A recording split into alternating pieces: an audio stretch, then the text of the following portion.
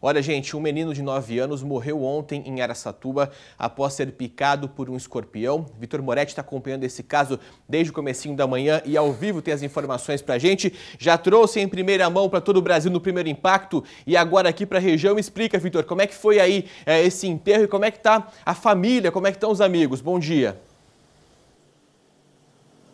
Bom dia, Casagrande. Bom dia a todos que nos acompanham aqui na tela do SBT Interior. Infelizmente, uma fatalidade, né? Os amigos, os familiares, é muito abalados com tudo isso, ainda sem acreditar no que aconteceu, né? Por questões aí de segundos, isso tudo poderia ser evitado.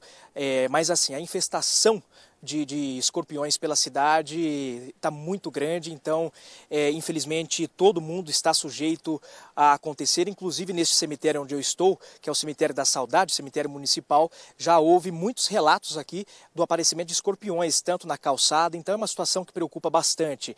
E o Pablo Henrique Araújo Laureto, ele tinha nove anos, como você disse, um apaixonado por futebol. O sonho dele era ser jogador de futebol, mas infelizmente teve esse sonho interrompido.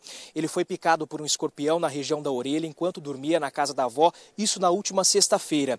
O menino chegou a ser socorrido com vida, ficou dois dias internado na Santa Casa, mas sofreu nove paradas cardíacas e não resistiu. No começo, a família não sabia que ele tinha sido picado por escorpião, chegou a levar ao pronto-socorro municipal e a equipe médica, isso foi um tio que me disse, desconfiou que pudesse ser até uma intoxicação alimentar, porque ele apresentava vômito. E no dia seguinte, somente, que a avó encontrou o animal peçonhento ali embaixo do lençol da cama onde ele estava dormindo. O enterro aconteceu há cerca de uma hora neste cemitério aqui de Araçatuba, uma comoção muito grande. O pai não tinha condições de gravar entrevista e a mãe nem compareceu aqui ao enterro porque passou mal.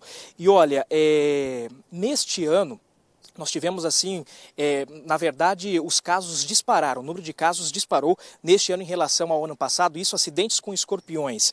Neste ano já são 1.036 acidentes em relação ao ano passado, que registrou 502. E muitas creches estão fazendo o quê? Estão criando galinhas, que é o maior predador aí do escorpião, para evitar esse tipo de ataque. A repórter Priscila Andrade fez uma matéria e a gente vai conferir agora.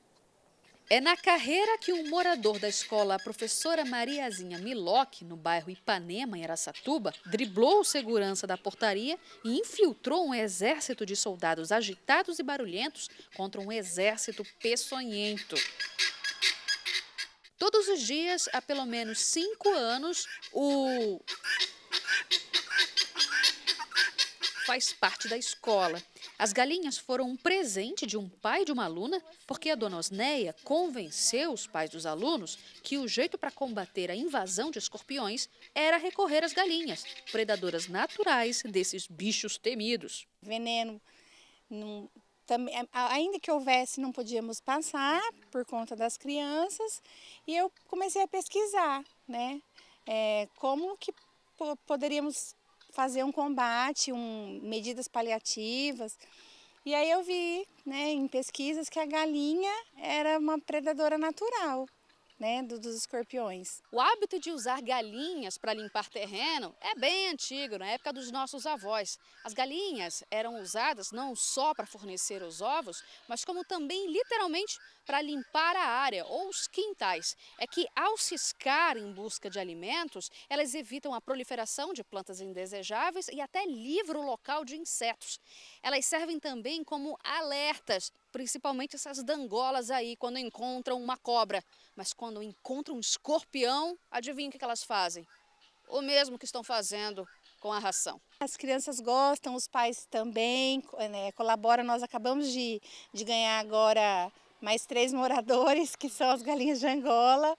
É uma parceria que tem dado certo, as famílias ficam felizes e eu muito tranquila. Essa ideia simples que ajudou a escola e algumas creches em Araçatuba viria bem a calhar na família da Renê. Ela não dorme direito desde que se mudou há um mês para este conjunto no bairro Arco-Íris. É um bate de roupa aqui, dá uma conferida no chão acolá, parece que estão fugindo de uma sombra. Você está conseguindo dormir tranquila nessas últimas noites? Não, nem um pingo. Nem eu, nem minha vizinha, nós estamos em pânico mesmo aqui. É que atrás do conjunto tem uma área verde que virou um verdadeiro depósito de lixo e entulho. Então, se falta conscientização de quem joga o que não devia ali, sobra em proliferação dos escorpiões. Eles já caçaram mais de 10 e mostram para quem quiser ver a prova de que eles estão por perto. Ele é muito perigoso, a gente está morrendo de medo. Não é só um, né? Já são vários que apareceu, então a gente está bem preocupado mesmo. Nem as crianças conseguem brincar direito. E a Rafaela, então, tão pequenininha, e já aprendeu o que fazer se vir um escorpião. Sua mamãe e o papai. Ou então as galinhas. Realmente é um assunto que tem preocupado muito quem mora na cidade, a Prefeitura de Araçatuba, em relação ao caso que nós mostramos na participação ao vivo uh, do Vitor Moretti, pontuou o seguinte, uh, que o Centro de Controle de Zoonoses tem feito, então, diariamente visitas, é, instruindo a população sobre os cuidados para evitar picadas ou então como proceder em relação a um acidente com escorpião. Disse também que mantém uma equipe educativa que está fazendo trabalhos aí em escolas municipais, estaduais e também em empresas privadas, levando informação sobre esse caso.